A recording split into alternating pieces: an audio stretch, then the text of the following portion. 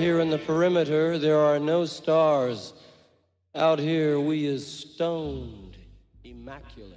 Hello and welcome. This is the C86 show. I'm David Eastaugh. As you know, we love a special guest. This week it's going to be the turn of the American LA based band. It is Medicine, because I recently spoke to Brad Laner to find out more about life, love, poetry, and all the other groovy stuff. So, this is the interview, which um, is going to be exciting. So, do take notes. I will test you at the end to make sure that you have been paying attention. But anyway, it's a great chat. Well, I think so.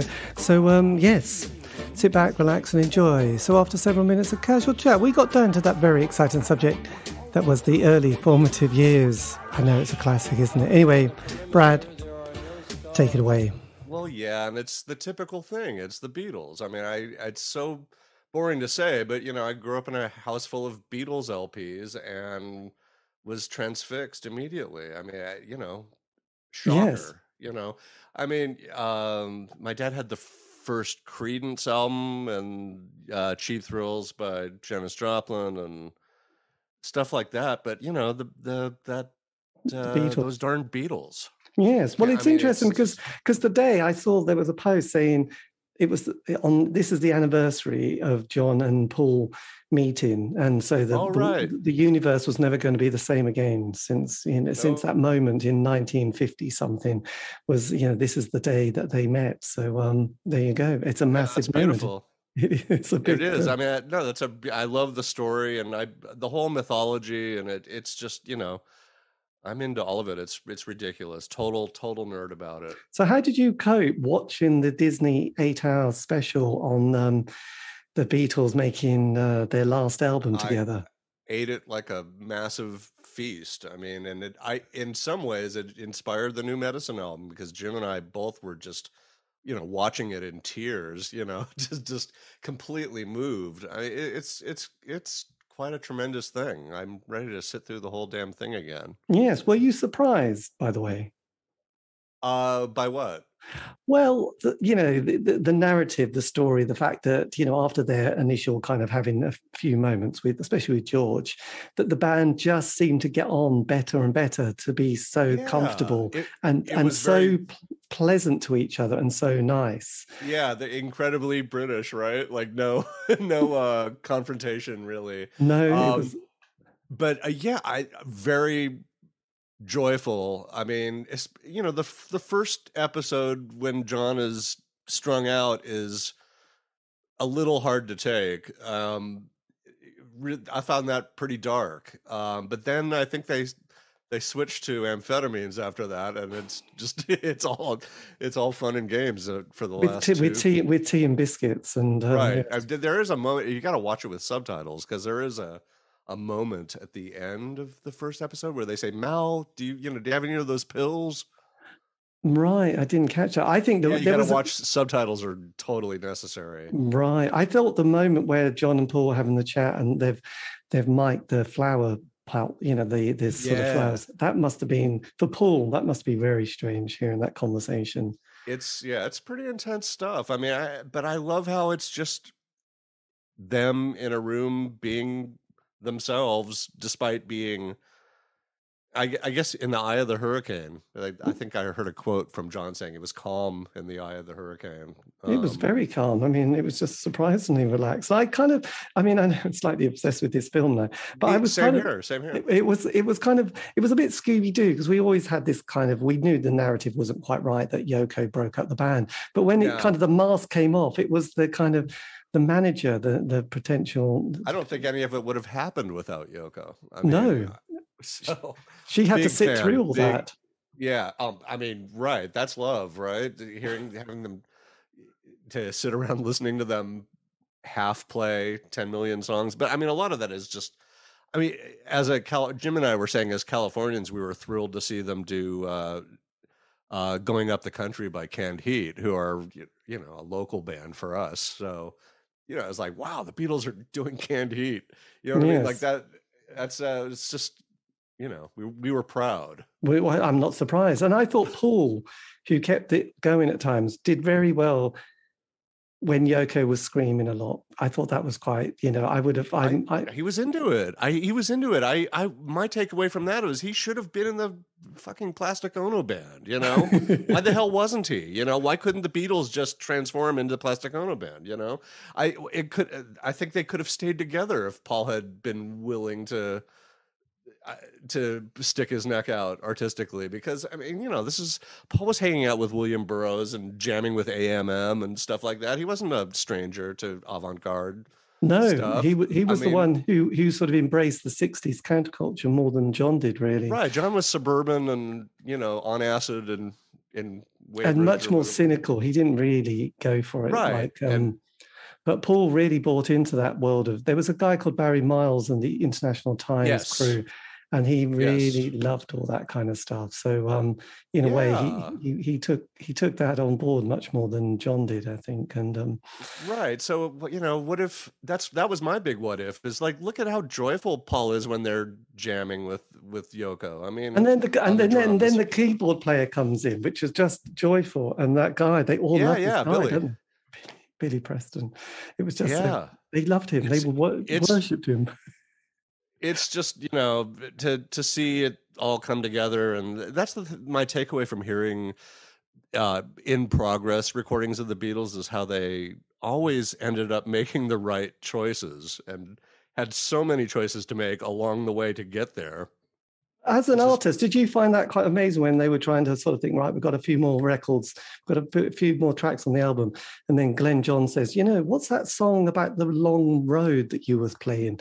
And you're thinking, my God, you know, that's one of the greatest, you know, most you know, famous songs of all in popular music. And right and it's and just that- a casual conversation it's like oh yeah let's have a go at that one and shall yeah, we, shall we, shall we finish it now? You know, is it any good? Fantastic it's all just great So I- did it, I- did it, did it inspire you then to think, God, I really want to get back and do some music? I suppose so. Um, I've said elsewhere that you know this record happened because Jim all of a sudden kind of mapped out an entire album on the drums and came over here and insisted I record them, and it was so inspiring that that is what happened. I mean, he kind of made it happen by a force of will um, and drums. So um, yes, you know, just it's something as simple as that, really. I mean, and but yeah, g- definitely got me thinking about you know songs again. which, Yes. you know, it's been a been a been a while. So It's been a Um, while. So as you were as you were growing up, then during the sort of the seventies period, did you have older brothers and sisters who kind of influenced you, or were your parents particularly influential? Parents. I'm the oldest of two siblings, so but I had a lot of older friends who were super cool. But my, you know, my dad had great taste in music. He was even into punk rock. I mean, he was a huge like Stiff Records fan, Elvis Costello, Nick Lowe, uh, Ian Dury, kind of thing, and, and total.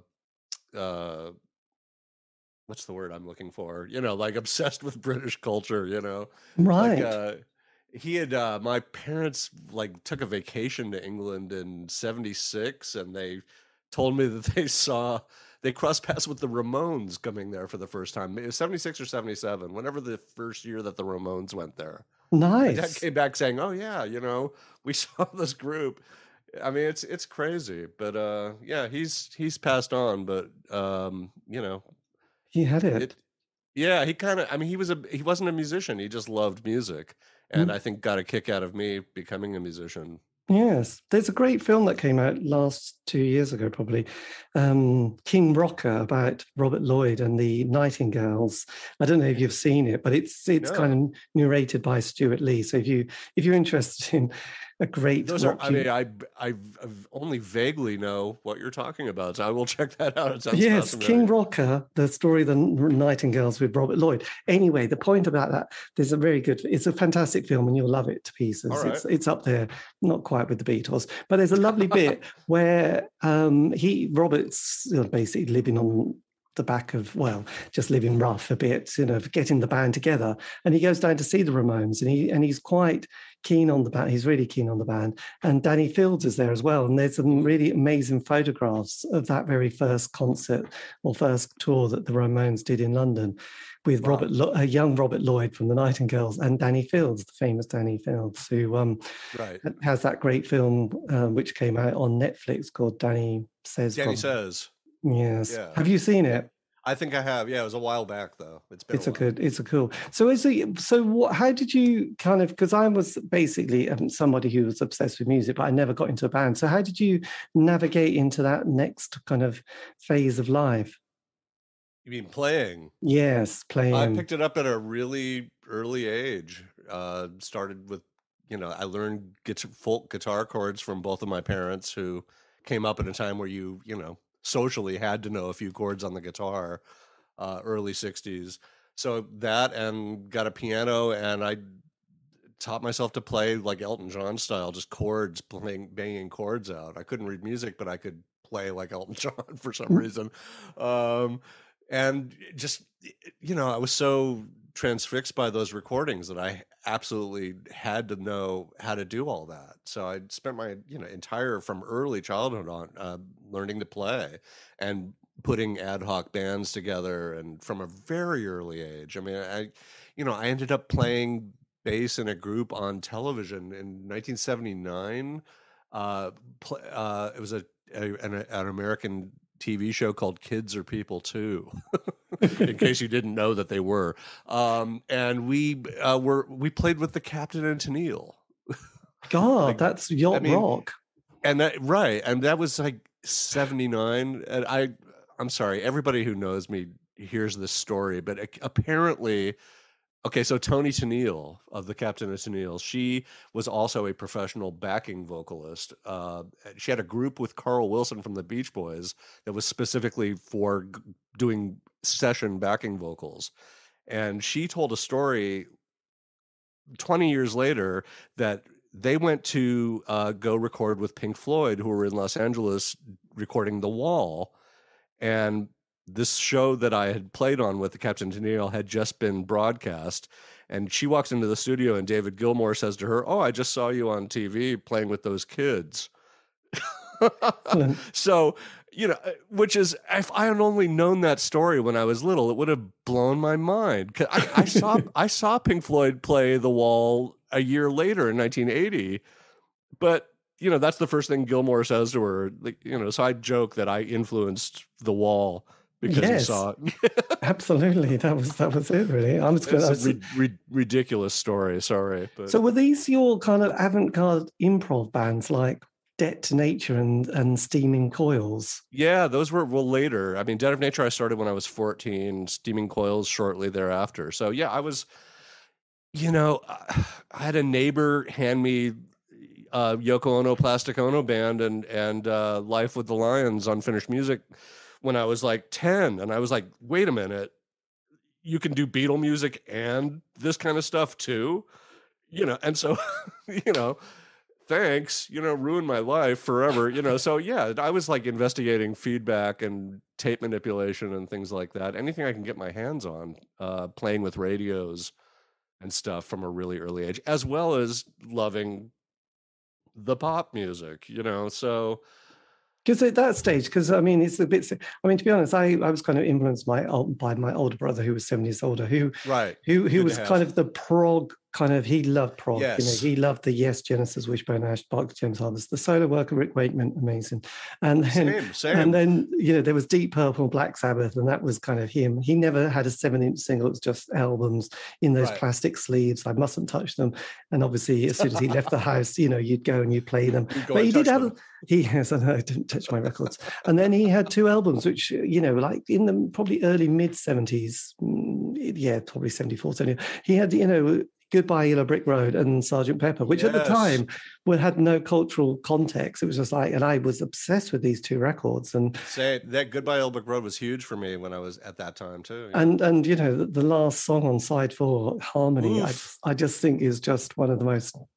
Perfect. I couldn't couldn't agree more. I've I covered it once actually. Did you? Yes, it yes. was just and you know there was like yeah, no, that's the one. You and I are, are agree on that. And also That's, with that's um, a tremendous song. Yes. it is you know lyrically and, and emotionally Right. i think i think i i embraced romantic melancholia at a young age because my mum used to have radio 2 on which was kind of soft pop but it had a lot of stuff like the carpenters and burt bacharach and i realized the carpenters were all singing about really sad lonely things yes. so years later Yes. then when i got into joy division and the smiths i thought oh yeah of course you know karen carpenter has been singing about loneliness and loveless relationships all her You've life got it. I couldn't agree more.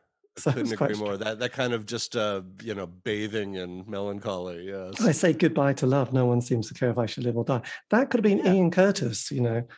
Apps. I yeah. No argument for me. I you know it, I'm you know I, I it's hard to top Karen Carpenter. It is hard, even on and on drums. I mean, God, have you seen her go for it? My God, Yes, fantastic musician. I just you know she should have joined a punk band really and got rid of tra- Richard. tragic, so tragic. her and Judee Sill both just bring me to yes, tears. You know, stunning, stunning. But in this country, we had, you know, very simplistically the punk period, which is good for about eighteen months, and then it's a bit sad.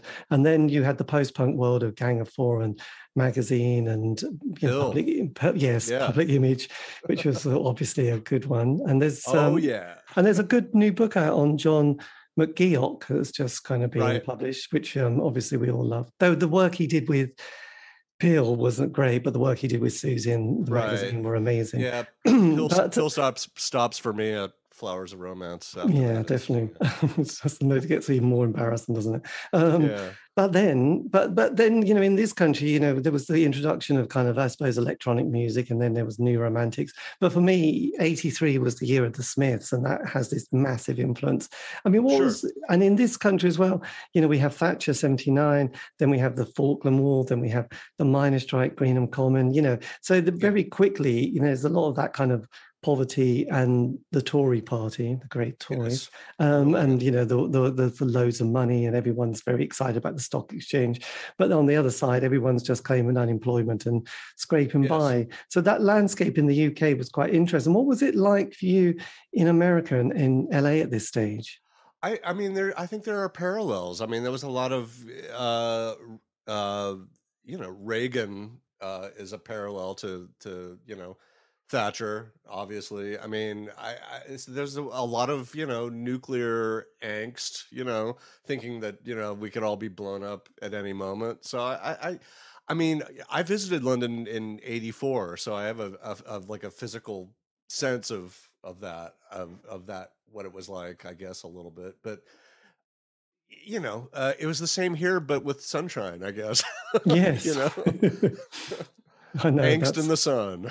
that's that's quite nice. So how and did i was you seeing i was seeing a lot of those bands when they came through here. Gang of four was huge for me. I mean I- you know i was really keyed into all that.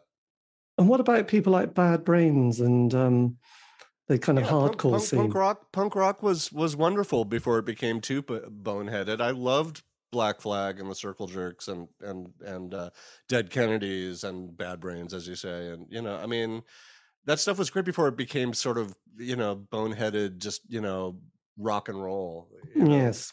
It- Blo- uh, blokes blokes with issues. Yes many many issues. So um you know as long as it was sort of uh, you know acid damaged and and sort of post hippie which i think is what punk really is.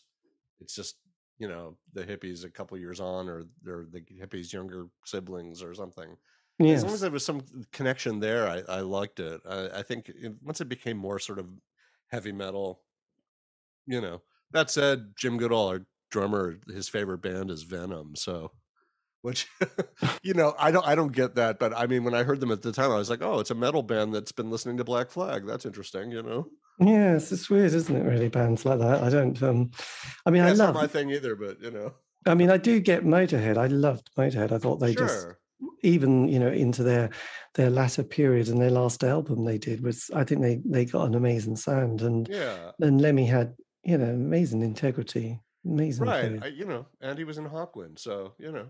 He was. He was the man, wasn't he? and um, I know, God, what a band. But then, how Right. did you navigate the 80s? Because you were, again, doing lots of experimental music. So, did you leave school, college at 16, or did you stay on and do music as a.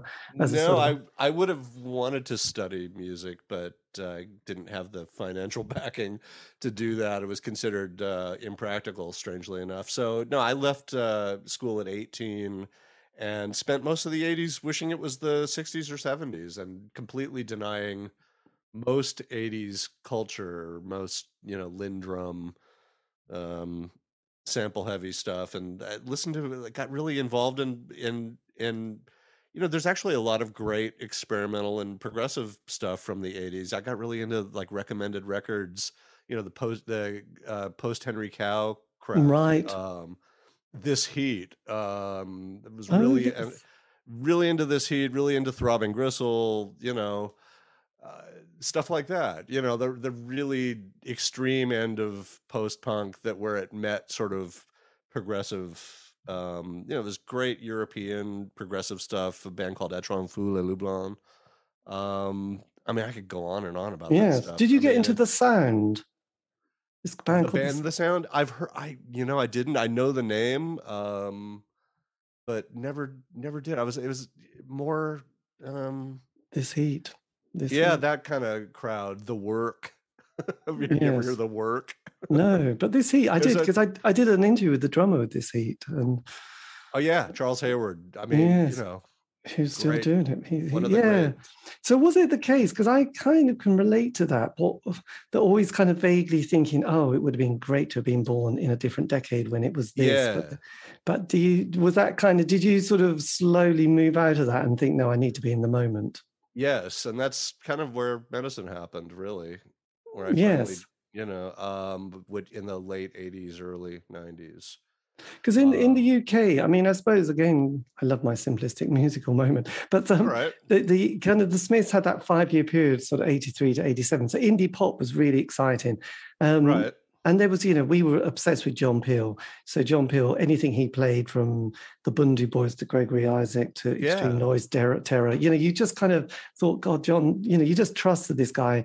Like, right you, know, and if he played you then you made it so when he you know I, it's one of my greatest regrets in life that he invited medicine to do a session and we couldn't from for scheduling reasons Oh, Ugh, that's so ugh. close, wasn't it? but in Terrible, the UK, we also, it's a tiny country, isn't it? You could fit it in your pocket. And so with a lot of bands, you know, there were the gatekeepers, you know, the John Peel, the Janice Long, um, you know, there was a few other DJs like Sure. Kid Jensen, but also we had three weekly music papers, Sounds, Melody Maker and NME, which, Oh, you know, know. which, which gave, you know, like a circulation of some ridiculous amount, like 100,000. And every Yeah. little town and village, every town, village and city you know, had an alternative night. So bands could get their little transit van and suddenly get a bit of traction quite quickly. So right most bands have the five year, you know, they have the tw- five year narrative, you know, 12 months getting together, single. John Peel gives it a play. The John Peel session, things going really well. First album, things going even better. Second album, mm, tricky. Third album, yeah, let's not bother anymore. So that was yeah. So the Smiths came along, I suppose that was the, you know, and 87, then they broke up. It felt like, oh, the indie party, you know, that kind of the bands like, yeah, yeah, no, the, the, um, yeah, that was yeah, yeah, no, the the mighty lemon drops, all those kind of, you know, the June brides, the Wolfhounds, kind of all giving it a bit of a miss. And also ecstasy comes along, which is kind of a this again, you know, very simplistic, isn't it? You know, there, there's that kind of move of kind of dance you know the next wave of 16 Right. 18 year olds want their music and it's like you know suddenly they want to dance they want to get off their face they the soup dragons have suddenly changed into an you know a dance band and the happy mondays also right, primal acid Scream, the- house that. yeah and the acid house james taylor quartet which we loved um and that that came along and that sort of was suddenly m- mixed with a bit of shoegaze and so you had that north london scene with people like my bloody valentine silverfish the faith healers you know and early years of lush as well so you did you pick up on that kind of the shoegazing kind of world that started to um, Absolutely, yeah. I had a, a friend played me uh, "Strawberry Wine" by the Valentines, in you know, right after I, uh, I Yeah, like in like 88, I'd say. Right. Um, so th- yeah, that was exciting. I had I had of course heard Psycho Candy by uh, Jesus and Mary Chain when it came out and loved it for the all the the reverb abuse, you know. So just sonically, yeah, I was I was paying attention to all that, and I you know I, I did hear the first uh, Lush single when it came out and was completely knocked out by it. So um yeah, absolutely. I was definitely hip to that. Yes. and that's that's how uh, a, Los, a band from Los Angeles ends up kind of sounding like that early on. You so how did before- that? How did Medicine get together? Uh, it was uh, some recordings that I'd made on four track. Um, that you know, where I thought, well, what happens if I just feature the guitars and make them as huge and you know as I can, and then have like a pop tune under it? I, you know, why, why, you know, why not try something like that? And it kind of worked, and be, due to the fact that nobody else around was doing anything remotely like that, there were hipsters that worked in the music industry. They're, you know, they pounced on us because we were a novelty. Yes. Um, so, and also because I'm difficult and had, you know, listened to all this experimental music and prog and all that, like we didn't quite get it right. So, which Yes. thank God, you know. Well, we- absolutely. so- Because in this country, I mean, we'd had the the kind of the Sonic Youth and Butthole Right. Surfers and Big Black, and then there's that 4AD moment of yes. And the Pixies that come along. And I remember they were a double bill playing the UK doing 89 and played Glastonbury. And I remember seeing them going, wow, the Pixies, amazing. Throwing right them and, and throwing muses you know i mean i and i was listening to all that at the time too you know yes. all- And then what happened about the suddenly Bleach appeared and, you know, suddenly Tad and Nirvana was sort of touring the UK as well. right Did, did you sort of, you know, how was that kind of influencing your sort of sound and, and sort of the It- musical it landscape? It wasn't uh, i i found the grunge stuff super boring and retro like i didn't uh, you know i didn't want to hear bands that sounded like grand funk you know i it of course now i appreciate nirvana's genius but when they were around and playing small clubs i mean my kid brother saw them in tiny places a few times but yeah i was a little snobby and didn't didn't pay attention too Yes. much um but yeah yeah the grunge thing was like i yeah not inspiring to me personally i was yeah it's always looking to for more sonic experimentation rather than you know Yes. And were you really keen to get a female singer for the band? yeah for better or worse it seemed like that was an, an important thing to have Yes. and I'd, I'd and I'd had a history of working with with female musicians, and I still to this day think they're the only ones doing anything interesting at the moment. But um, I can't So, remember. yeah. There was a member of Jefferson Airplane that said he really wanted to sing. You know, have a. He didn't want a band of men. He wanted you know, right, to balance it's it. it's it it's nice to have the balance of uh, hormones. You know, It is. It keeps it keeps it interesting. Did you? I mean, Creation Records at Yeah. this stage. I mean, you know, they'd had that. Alan McGee had sort of gone down from London, from Glasgow to London, set up this small club called the Living Room, and then put out a lot of you know amazing singles with bands who you know Yeah. were very much of that kind of indie world. So. Some bizarre ones are like Momus, I think, as well. Um, right, right, big and- champion of big champion of Momus. Yeah, and it was you know a big deal for us to end up on that label. I mean, it, it's it's still quite astounding to me that we did. Um, yeah, it, and it was kind of an interesting time because there was quite a lot of, um, I mean, obviously my, you know, my bloody Valentine, but there was, you know, there was quite a few other people recording, so they were, they were, yeah, they, they were doing some extraordinary stuff, which you know, it's like probably no one, I can't remember who it was, but I did in, interview someone who said, oh.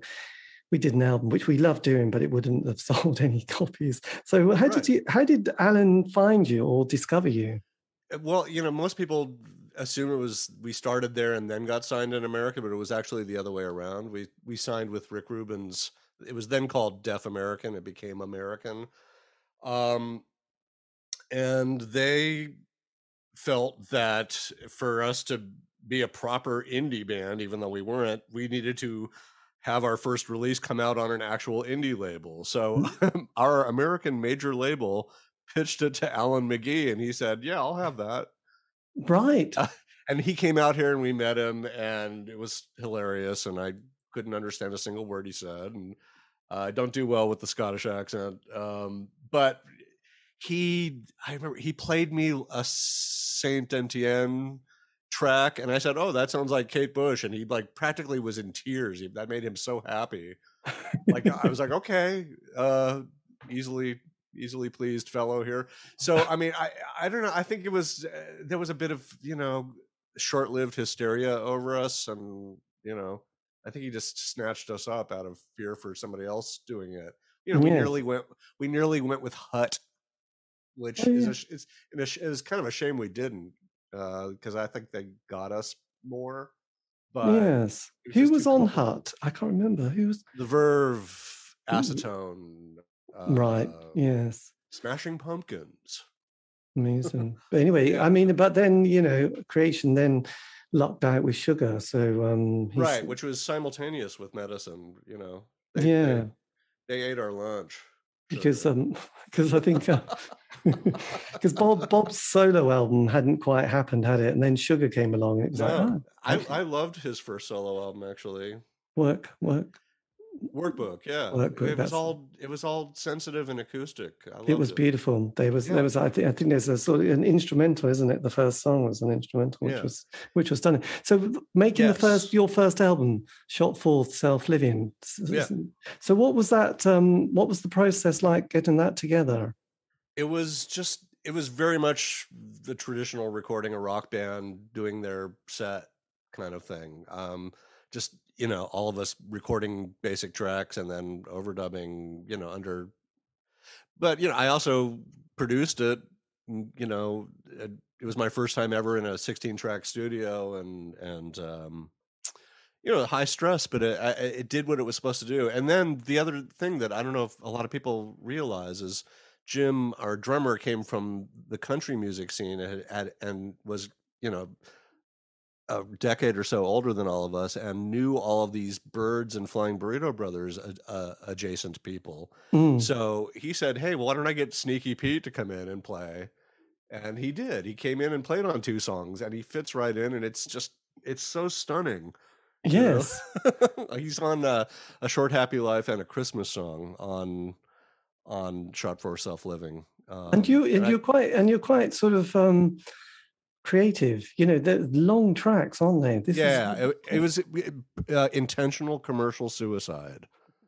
I was like, there are there are 10 million alternative rock bands right now, all doing their same thing. If we don't do something different and possibly self-destructive, then this will just disappear into the ether, and I won't have anything to be proud of when I'm 55.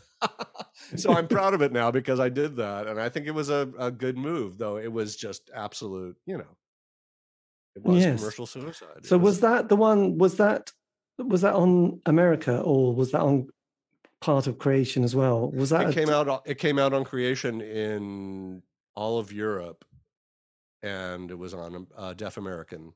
And did it sell? Uh, no,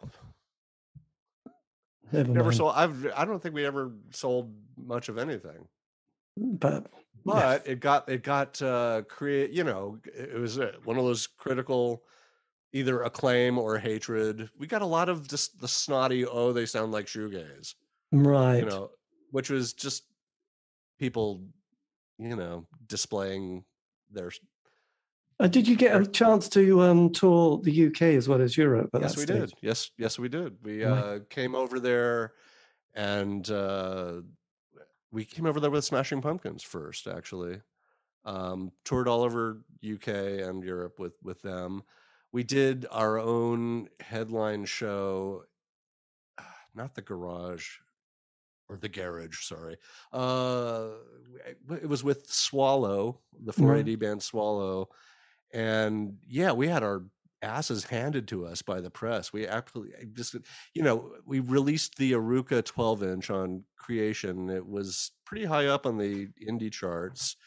And then we came over there and just got blown out of the water critically. Like eh, it was like the meanest reviews you could possibly imagine. I got, we had like the, you know, the classic British press story, but compressed into like a month. You know, build them up, knock them down like fast, really fast. so I think they correctly sensed that I was not to be trusted.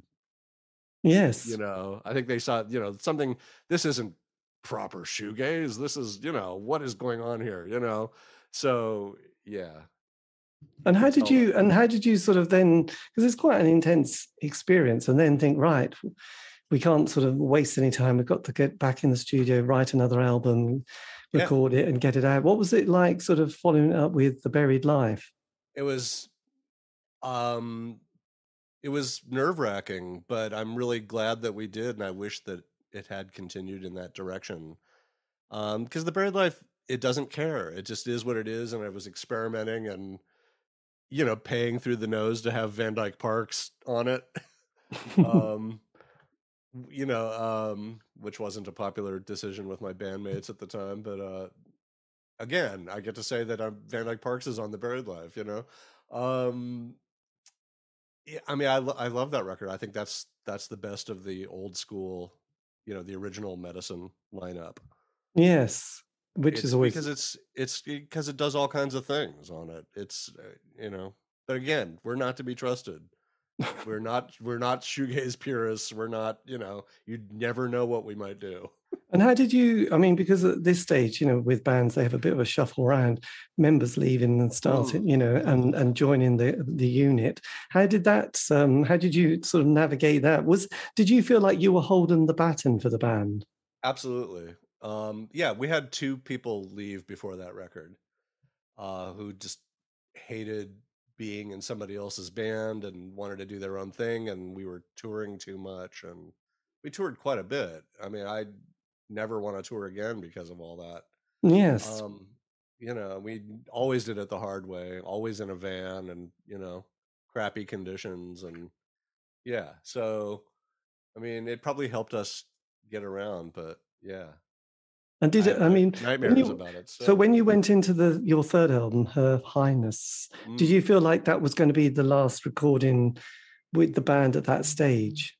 There was a sense that if we didn't do something that could get on the radio, that we would get dropped, which is indeed what happened. And I, I wish. I mean, a lot of people tell me they love that record. I, I have so much negative emotion connected to it um, because it just felt like we were not doing the original mission of the band, which was to be creative. And, yes. Um, so it's a very sour, sort of bitter memory for me. Um, though people assure me it's it's a good record. I don't know. You know, we hired. See, that's the theme. That each record had like a, an an old guy on it. I don't know if you know, but the the Her Highness was co-produced by Eddie Offord. Yes. Who who is the Yes producer. I mean, his he's pictured as a band member on the back of Close to the Edge, for Christ's sake. But, um, and you know, and he worked on Imagine by Lennon. But anyway, that was a, a huge mistake bringing him in. Um, you know, Eddie Awful. What was his? Sorry, Eddie. What was what was, was what was who whose idea was that? Mine.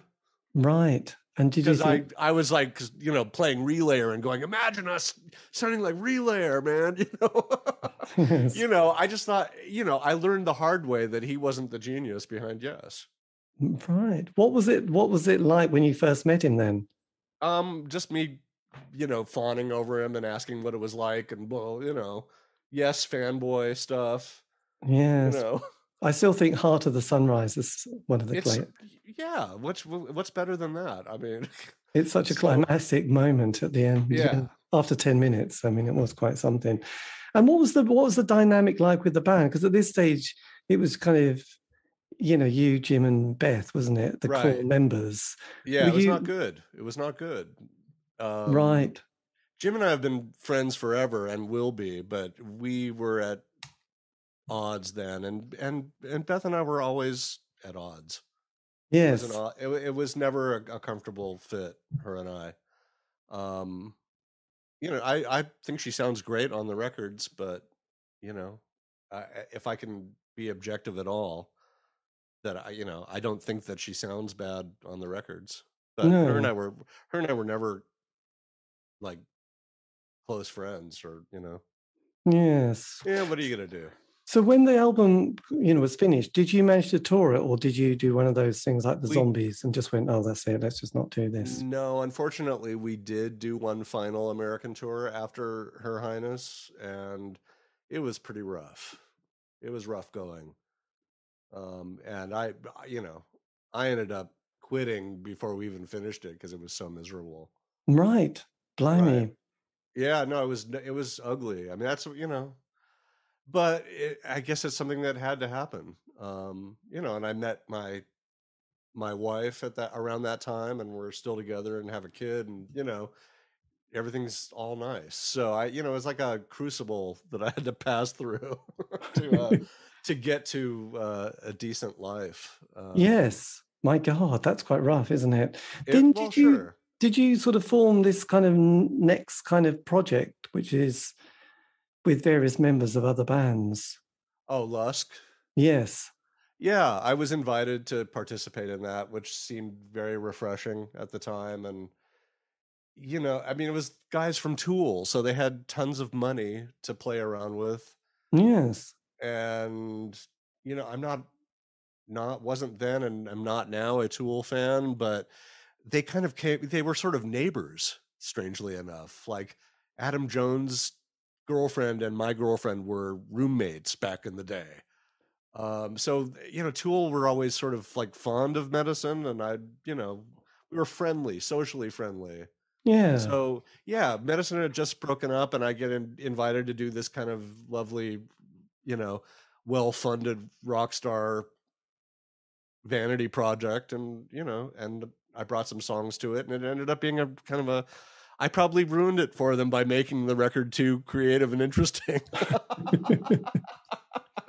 I'm, you know, I'm terrible that way because now, you know, they've all moved on to be like in Guns N' Roses and Ministry and stuff like that. You know, yes. So I'm, you're such, I'm so, such a shit talker. Sorry. so you able to sort of just slip? You know, are you a multi instrumentalist? yeah, I play all the rock band instruments. All of it, I consider can- myself to be a bass player primarily. I mean, but keyboards, vocal, drums, guitar. guitars. Yeah, that's it. My God, that's that's amazing. So as Yeah. the as as we trundle through and we are worried about the Millennium Bug, what was the last? uh, what was the end of the? I know I can remember that. Um, what was the end of the nineties like for you? Um, confusing, uh, sad. My dad passed in 2000.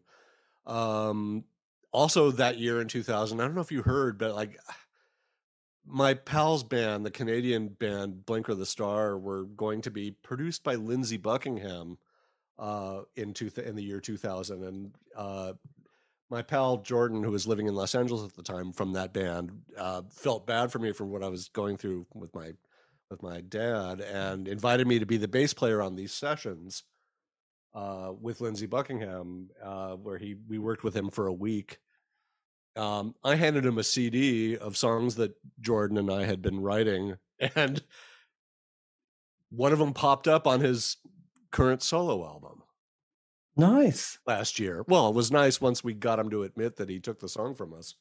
right? There, did he just say, "Oh, I've had a heart attack and I've had a lot of work, so I, I forgot"? Yes. And my response was, I've forgotten all the songs I didn't write as well. did he? But yeah, part. I mean, you know, he's, you know, I I still love love him and his work. I mean, but yeah, that that was rough last That year. was that was a bit cheeky, wasn't it? Really, Lindsey. Very cheeky, Blimey, Lindsey. naughty, naughty, cheeky boy. yes, he should have known better. You'd have thought at that age. well, and it's and thankfully we didn't have to sue him, and we settled, and Yes. he went, "Oh, all right, yes." You know, we had all kinds of documentation and timestamps and photos, and you know, Yes. but yeah, When when did he suddenly go? Okay, fair enough. like immediately. Right. So there you go. That's that's good. So why? So, but doing one of those classic things we mentioned, Lush earlier, the the Yeah. British band, they reformed. That was a disaster Right. um, on so many levels, and will never ever speak to each other again. I don't think. Oops. Oh, Um, so medicine, you reform, which is one of those interesting moments. What was what was the reason for that coming together? Well, um, the New York label Captured Tracks, which is for a while there, I think was almost like a modern day rough trade. I think they were releasing tons of great stuff. And they reached out to me in 2012 and said that they wanted to somehow reissue the first two medicine albums. And I said, great. And they did it. They managed to do it. And I was so kind of thrilled with that whole process that I thought I'm working with this cool label. What would happen if I tried to make a medicine record? And I reached out to Jim and Beth, and they were keen, and we did it.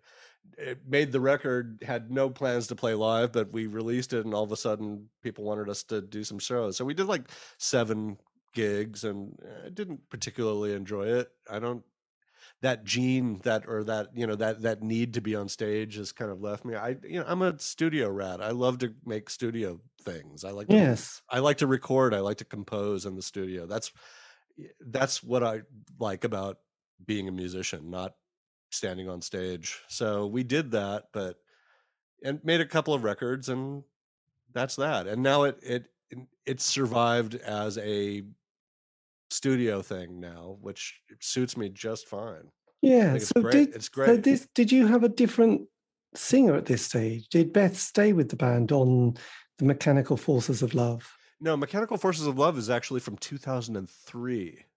And that is a one off that I did with Shannon Lee, Bruce Lee's daughter, Yes. who I and who happens to be a classically trained singer. Um, and uh, I met her socially, and yeah, somehow we ended up on the Wall of Sound label. I mean, I you know I've been all over the place. It's so random, but you know I we signed to Wall of okay. So did you I- well when you refo- um, reformed in 2003 with Beth, did you record an No, that- album? that- no, that was 2013 with Beth. It was Right. 2003 was the one on Wall of Sound with Shannon Lee. right. The got you. one off on, you know. Yes, Mechanical Forces. Right. Yes, that's interesting. So what was it like working with Shannon? It was wo- wonderful. I mean, we were like siblings. We just instantly got got along, and it was making the record was really lovely. Um, it wasn't meant to be a medicine record. I at the time that I was working on it, there was a uh, techno duo out of London calling themselves Medicine and releasing stuff on Wall of Sound. I write a letter to Mark Jones at Wall of Sound saying, "Hey, cut that out." Yes. you know that's our name you know and it's not like we're completely unknown in the uk you can't do that. And he said well you know what? Those guys are kind of screwing me over and, and leaving wall of sound for another label. Why don't i put out a record by you called medicine uh to and blah blah blah. So yeah i said okay fine. I thought it was a, a great idea. I ended up going over to london and like meeting banksy because mark jones was one of his biggest early supporters Right. and so being you know uh, you know hanging out with Royksopp and stuff like that you know meeting Banksy and uh, you know like it, just being like what am I doing here you know it, it just part of that my weird journey you know That is funny. And so had Banksy at that stage become a name? yeah but only in that only in London what is that area around Portobello Road I can't remember what what part of London that is is that west No, is that West London West or North, I think. Yes, it's in. see I don't know No, I I don't want to don't. embarrass myself, but but that area, their uh, Sound's offices were all right next to the Portobello Road, Right. and so that whole area was covered in early Banksy stuff. Yes. Uh, and that's where he was. No, I wasn't impressed. You know, when I met him, he wasn't, you know, Banksy in all capital letters quite yet. no. I wish I'd appreciated it and stayed in touch. taking a was- selfie Yeah, at least. or taking one of his pictures and said, "Yeah, I'll take right, it." or take you know had him draw something on a napkin for me or something. And, and said, "Yeah, I'll keep it." yeah. And um, He that's is he is on the cover of a record that Medicine is on though. Like actual physical photo of him. There's a Wall of Sound like 10th anniversary right. LP and he's on the cover of that like There you go. Making a graffiti. as one does. Blimey! So that's your on the wall of sound label. Oh, yeah, that was the, the, the story of the 2003 Shannon Lee thing that was Excellent. called medicine, but it was called medicine for just out of spite. it's so weird. So it was uh, the, the the one 10 years later on captured tracks with Beth and Jim is actually you know proper properly. One. This proper. is the one which is called "To the Happy Few." To the Happy Few and Home Everywhere uh, are the ones we put out, and that and a there's a because the band the band does have a lovely story doesn't it even though you've had some ups and downs there's yeah. this kind of the core of you have kind of worked yeah. through have you kind of had band therapy well we've talked a lot i mean jim who is i consider to be my dearest friend in the world like him and i didn't speak for 17 years and uh, that's you know so it was very joyful to reconnect with someone who i consider to be like you know my older brother you know Yes. And who, you know, yeah, we end every conversation nowadays with "I love you, man." we do. I mean, I mean, yes, it's it so, does happen. Yeah. Um, what What was the reason for you sort of having a seventeen year old, seventeen year sort of just just space? having just because we sat in a tiny van for three years on the road, getting sick of each other, and you know, there were personal issues that I won't go into here that, you know, got transcended and fixed and Yes, um, these things happen. Yeah, absolutely. So it, it was really just that. I mean, you can love somebody to death, but you go on the road with them and that's just over, you know. well, it's We'd interesting. You know, yeah, because I was going to say most bands, I, I, you know, from this period, break out for two reasons. Well, there's probably more than, but you know, like the five years. But also, often right. it's like we've got no money, and the other thing is for British bands, if they ever go and tour America, they they are in the conversation they often say, and then we came back and broke up, and oh. it's almost like God, it just it just America just kills you. It just finishes. Yeah, you. it's a big difficult place to tour in. It's much easier to tour in Europe. Uh, everything is much closer together. Um, yes, you know, and we so we did three years of one night stands of you know barely getting any sleep, and you know it just it's just a that's a terrible life. yeah, I wouldn't. I'm glad we did it, but I would never do it again. And I, you know. Did you manage yeah. to keep any memorabilia or a diary? Oh yeah, I'm such a hoarder. I've got everything. I mean, this every, is great. I've got every every handbill, every T-shirt, every poster, every you know. I've kept diaries. Yeah, forget it. I mean, you know. Yes. So what apart from you know with the band, that's you know incredibly intense. But you've done like hundreds of other sessions and recordings yeah. with other people. Yeah. I mean, are you the the ultimate go-to person in LA? No, not at all. Not at all. I just happen to randomly, you know, end up you know, uh, like the the bunk, the Lindsey Buckingham story is classic for me. Like it happens by accident. The same thing with my Brian Eno story. You know, he sampled something by me. And yes. I, one day one day I get an email from him hey, is this you? Uh, yeah. Oh, you're God, by the way.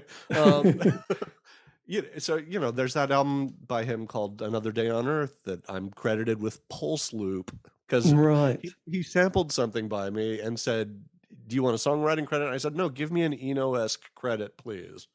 And so I'm I played Pulse Loop Excellent. I, I, hope he reissues that on vinyl. It's a really good album, actually. Yes, absolutely. Then, you know, so how do you then navigate your life during these kind of periods of, do you just, are, you know, is it kind of hustle? You know, do you have to do a lot no, of hustling? No, it's the opposite. It's the mountain has to come to Muhammad. So there's like long periods of idle, uh, you know, which I take advantage of by developing skills and pursuing my interests, learning how to play a modular synth or just get into doing nothing but collecting records. I mean, I, um, or, you know, having a child and doing nothing but concentrate on that for a few years, you know. My my son was born in 2004. Um, he's now 18. Um, so eh, you know, I've I'm incredibly fortunate in that I've always just done whatever the hell I want and it works out. Yes. Um, and my nowadays, my wife is a label owner and manager of a very popular reggaeton artist named Jay Cortez, who's you know currently touring in Spain. But you know, um, completely different world. But you know, fantastic. Yeah. That's that's that that must just be so exciting. So, how did you kind of navigate the lockdown period for two years? Did that did that was that a kind of productive time for you, or did it? Yeah, feel... it was actually. Um, yeah, no, just you know, stayed at home and played with the synth. Released a ton of synth um wankery on Bandcamp. I'm yes. sorry, but that is what it is. I mean, I just, uh, you know, learn along with Brad on the synth. Yes. Uh, yeah, Bandcamp is filled with, I mean, I, I, think I put out like 50, 60 Bandcamp records of just synth experimentation um, during that time. So, as you do. So, with the um, new album, you've got a new album out for Medicine called Drugs, right. haven't you? Yeah. So was this with uh, was this a project that you had started, you know, creating during lockdown, then came together in a studio?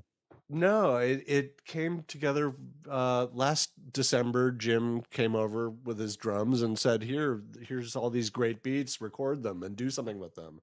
I was like, "All right," and I spent the next five months turning it into a medicine record, the first one that's just Jim and I.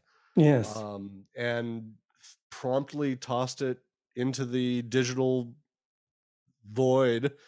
Um, and that was like a month ago. I mean, and it's you know now we're now I'm talking to you. So it's yes, absolutely. I mean, if you I could, mean, it's one, wonderful to not have to deal with a label or waiting around or hiring PR or anything. It's just, yes, just and the who, music. And who also features on it?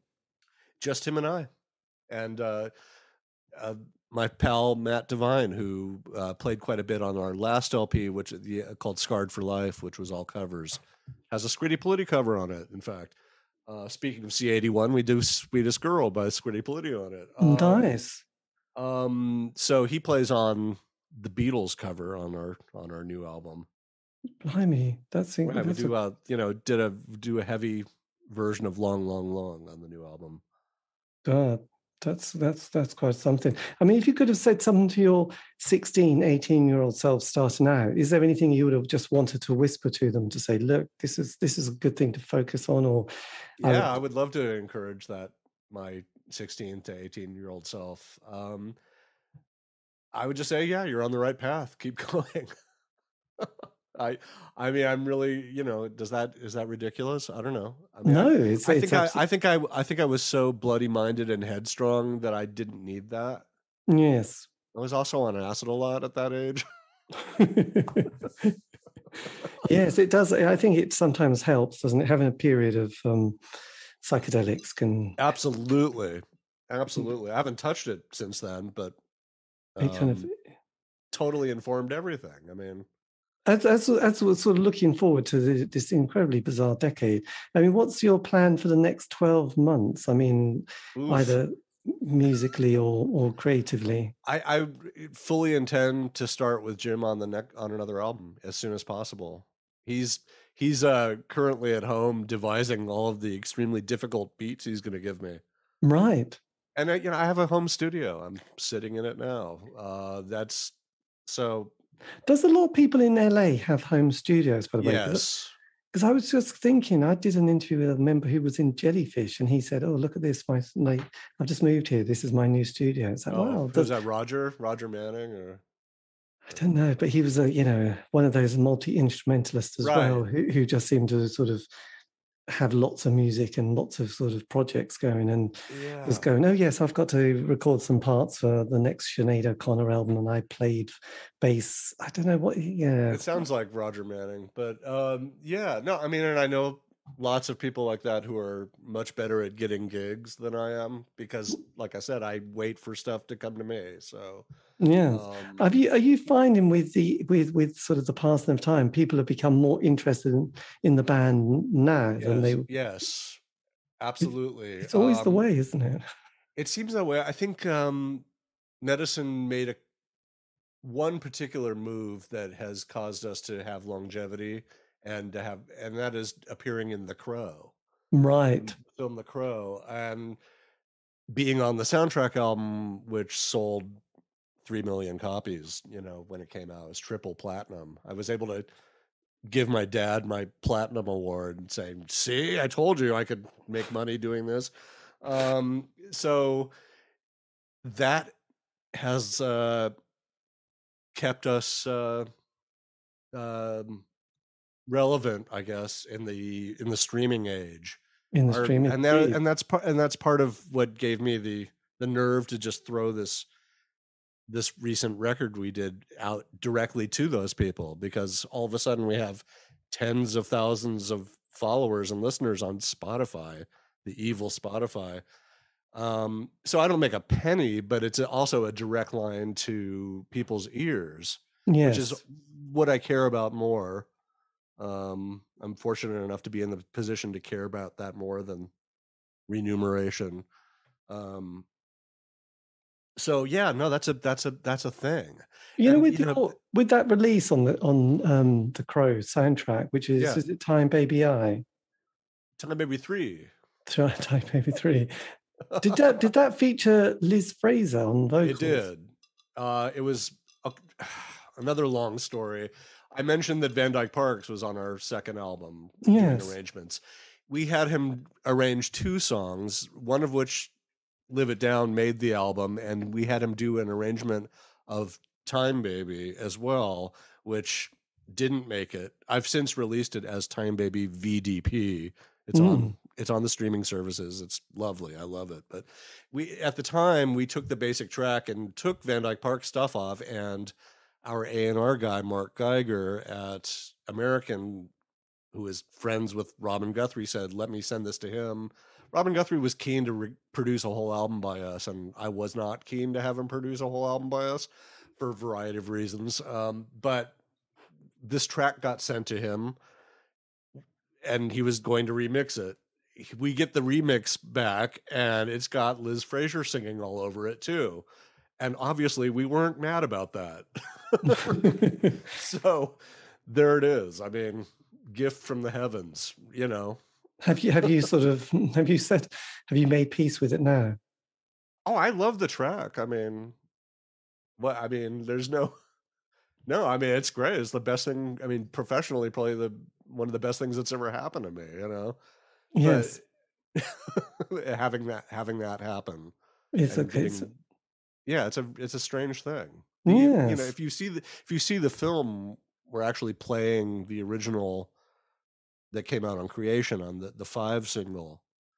Um, yes. and- but then they heard the version with the Cocteau twins, the people who made the film, and said, you know, can we have that?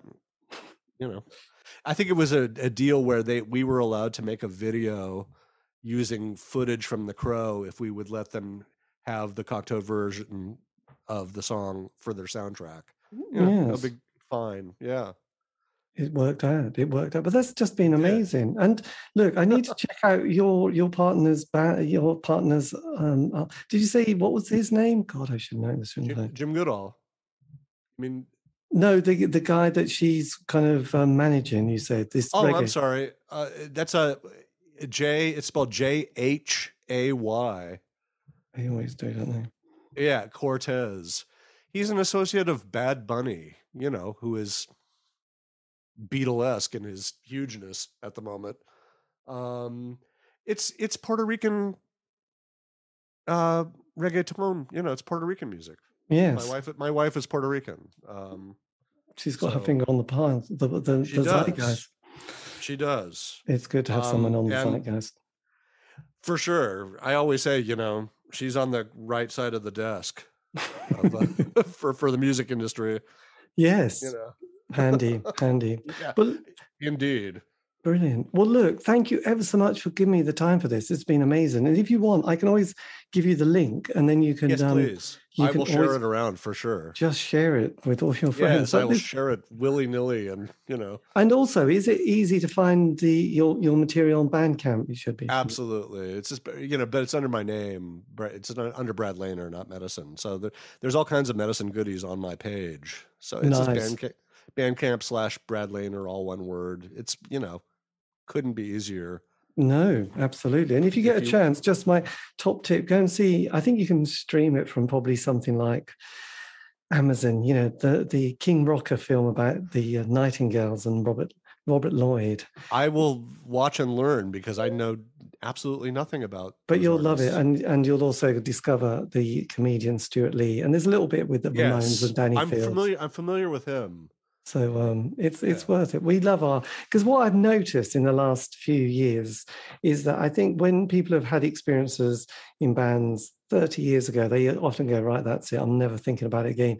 And then Right. decades decades pass, and then there's a little bit of kind of "Hmm, perhaps I'll have a look at look look at it again, have a think about it, you know, make peace with it. But there's been a lot of films and books and documentaries coming out from that period of the 80s, which you know is pretty niche. I mean, there was a film on the night, not the Nightingales, the wedding present film, you know, oh um, wow! on George Best, the film, you know, and then there was like ones on the chills and the triffids and the go betweens and the slits and you know the dolly mixtures. So I think Right. Well, the, slits are, the slits are like towering over all that for me. But you know, you know, like I said, I'm more of a C81 guy. So you know. Yes, well, the slits and um, even the Go Go's got a film out recently, and I think That's the right. Lunatics. So it's kind of you, you realize that suddenly people are going back and finding some.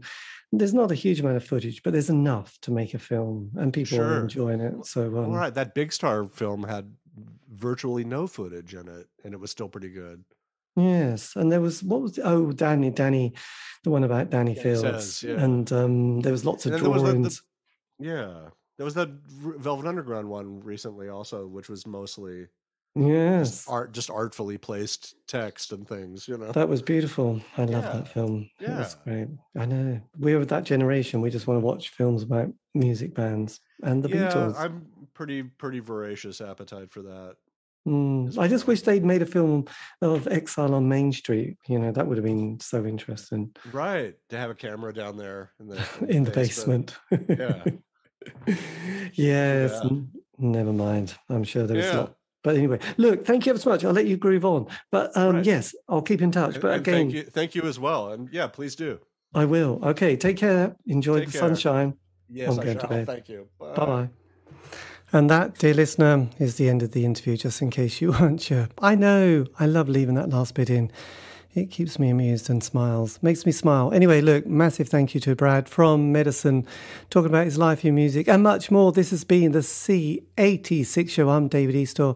If you want to contact me for some groovy and nice reason, you can on Facebook, Twitter, Instagram, just do C86 show, you will find it. And also, all these interviews have been archived. Aren't you lucky? You can find those on Spotify, iTunes, Podbean, just do C86 show. And with that, dear listener, we say goodbye. Have a great week, stay safe.